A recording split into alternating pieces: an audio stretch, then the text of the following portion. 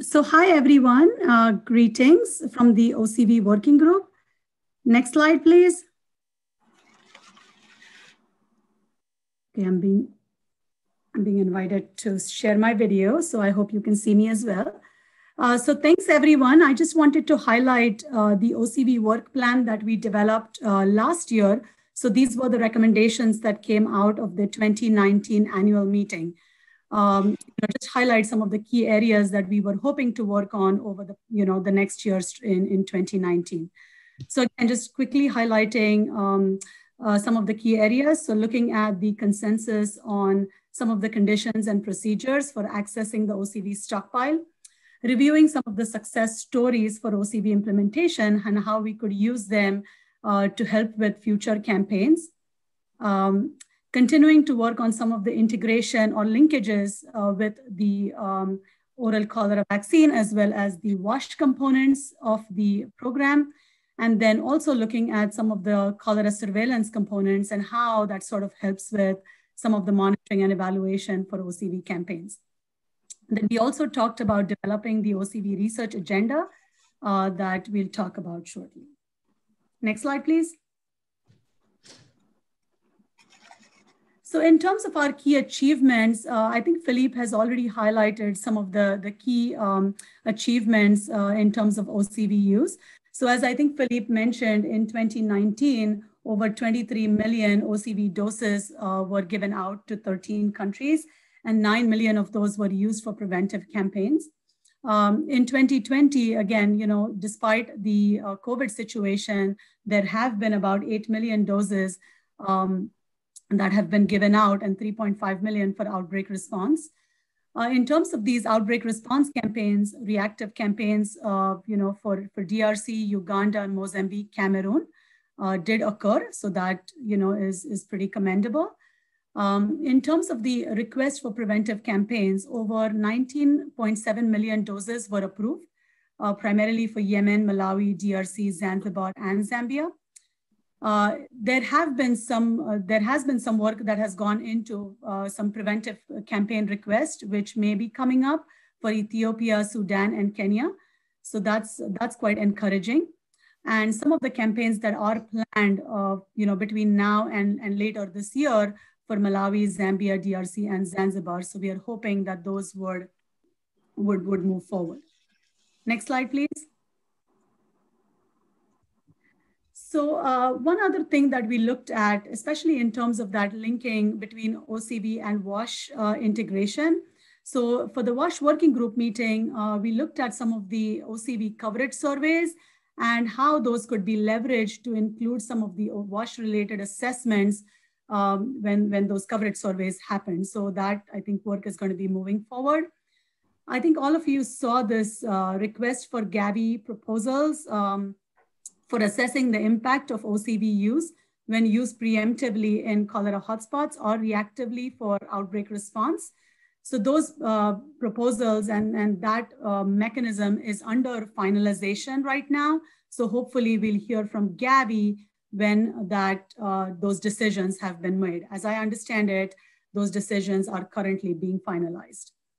Uh, in terms of the OCV plans to be included as part of national cholera control plans, so there have been uh, quite a bit of efforts, you know, in, in a few countries, especially highlighting here Zambia and, and Tanzania, where OCV plans have been included now in national cholera control plans. Uh, so that's very promising as well. And then, uh, you know, we also helped contribute to some of the research agenda development for OCV related activities uh, in collaboration with uh, the GTFCC Secretariat and, and Wellcome Trust. Next slide, please. So again, in terms of the challenges, I think as, as Philippe already um, showed this slide, not unexpected that you know we did see quite a bit of campaigns that were postponed or delayed uh, because of because of the whole COVID situation. Uh, but it was also quite encouraging to see the GTFCC statement that uh, Philippe alluded to earlier, which kind of highlighted, you know, some of the unique characteristics of OCV that could actually be, um, you know, in terms of the delivery, could be quite helpful um, uh, for for campaigns to move forward. So what, what we are trying to do in that in those terms is for the campaigns that actually happened, uh, we are working uh, with, with a few partners to, uh, to document some of those um, campaigns that have happened and uh, some of the lessons learned and how those could be used for some of the future campaigns that will be implemented within the, within the COVID situation.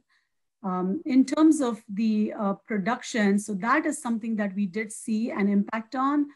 Uh, there was a decline in um, some of the production issues that again, Philippe highlighted earlier in his presentation.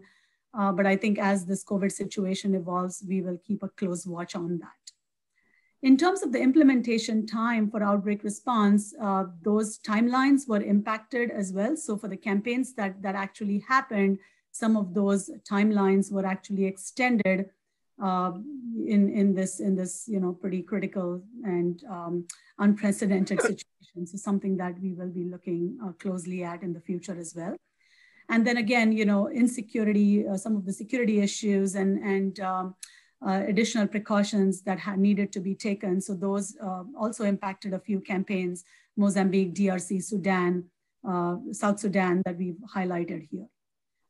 In terms of some of the other challenges, um, there is a guidance uh, document in terms of hotspot prioritization for OCV use that we are working on, and that is still in process.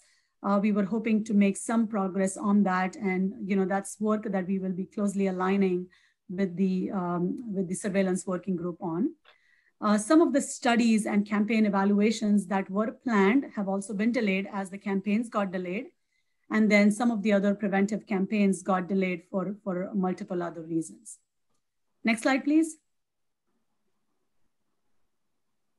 So these are some of the key priorities that we will be focusing on um, over the next year. So the criteria for uh, OCV prioritization that I mentioned, we will be closely aligning that with the hotspot mapping and working with the surveillance working group. Uh, we will be continuing to look at integration of OCV use within the NCPs and really looking forward to collaborating with the CSP on that. In terms of uh, some of the implementation of more preventive campaigns, I think we did see more reactive campaign requests last year. So this is something that we are closely paying attention to and hoping for more of this uh, preventive campaign implementation in the near future. Uh, in that respect, we will also continue to closely engage with Gavi um, as Gavi uh, is looking to for uh, you know look at their uh, OCV, the preventive campaign uh, request and, and the Gavi program to closely work with Gavi in terms of the process and mechanisms for that. Uh, very, very excited about the announcement for the CSP and uh, we'll be looking on, uh, you know, we'll be looking to work with the CSP on the request implementation as well as monitoring and evaluation of the OCV campaigns. In terms of the cross working group collaborations, uh, looking forward to working with the surveillance working group on targeting for the hotspots as well as impact assessments. And then closely with the WASH working group on these um, linkages on OCV WASH. I think we've already started some work on the uh, OCV coverage survey, as I mentioned. So looking forward to continuing that work. And then also continuing to work with the research agenda priorities in terms of building adequate monitoring and evaluation and ongoing research plans to integrate some of the key questions um, into the, uh, you know, as OCV campaigns get, get implemented. Next slide, please. So uh, want to thank all of our working group members. As you can see, we have a bit of expertise on the OCV working group from multiple organizations and individuals. So thank you very much for that. And I think that's the last slide. The last slide, please.